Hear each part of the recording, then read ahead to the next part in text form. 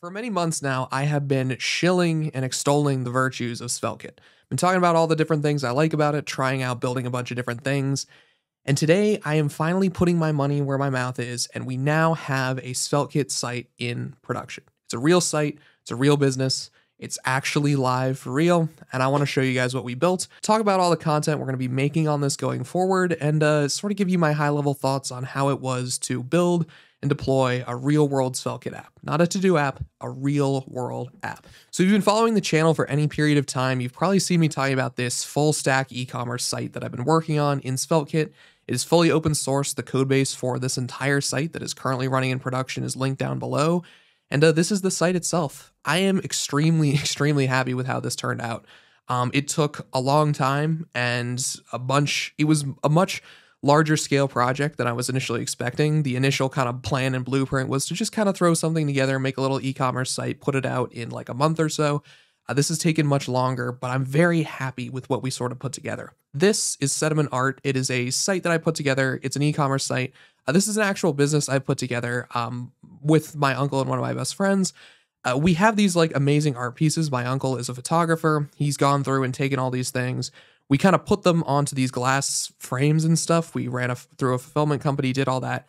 We realized that these are actually like really, really fucking sick. They look amazing. Uh, we have a ton of pictures on the site, and I have like one of them. I have a bunch of them here with me. Like this is one of them. Uh, it's hard to do justice what these actually look like over video, but in person they look really amazing. Um, so we figured, hey, let's just make a little site, see if we can sell these, um, do some stuff there. This is going to be a fun exercise for me because we're going to be trying out a bunch of marketing things. Um, obviously, I'm talking about it here. This isn't the like core of what we're doing for the marketing. We're going to be messing around with a bunch of shorts and TikTok stuff and also some Instagram stuff. Um, we wanted to play with that for a while, so that's the core of what we're doing. I might make some videos talking about how that works and how that goes once that's done, but but for right now, we're just putting it out. I have no idea if this will work. Um, I think they're really cool, so that was kind of just the gut feeling we went for. If you guys are interested, it's linked down below. It's live, like I said. We'll get those fulfilled very quickly. Um, but yeah, that's sort of the business of what we're doing here.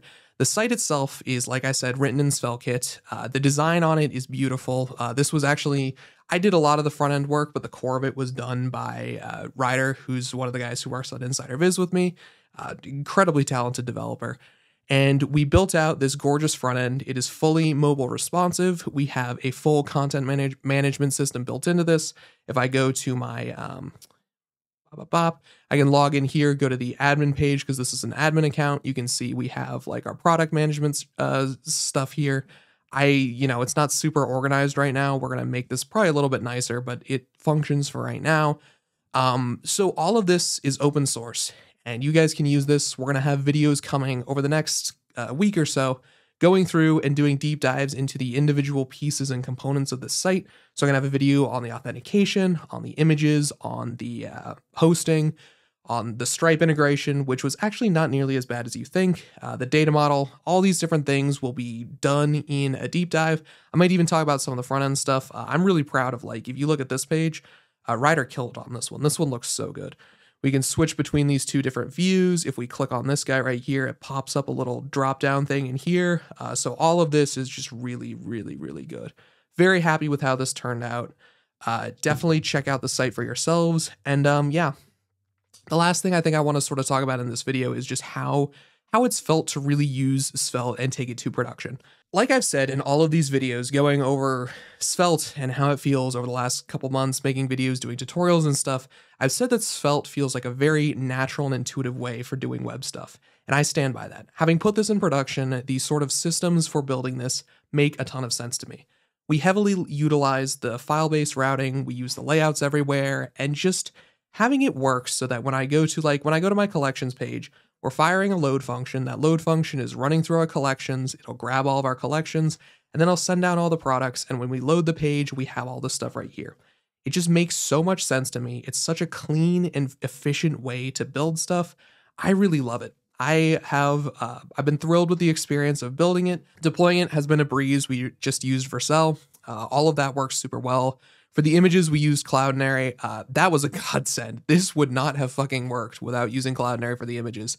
Uh, fun fact when we launched this for the first time, the uh, network payload was almost a gigabyte because we had unoptimized homepage images and we had like five of them. So it would load down these like 200 megabyte images every single time, and the site took like 12 seconds to load, so it sucked.